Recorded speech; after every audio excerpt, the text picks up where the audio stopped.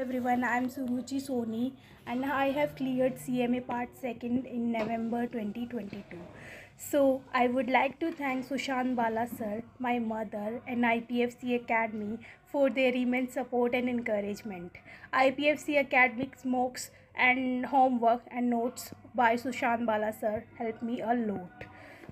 I have done a lots of hard work to clear the CMA part second in first attempt. In this beautiful journey, I have learned so many things like how to be confident, how to be dedicated, and how to be punctual. So some ups and downs came in my journey, but my goal to achieve the CMA and clear the CMA in first attempt has always keeps on reminding me to do all the hard work which I can do.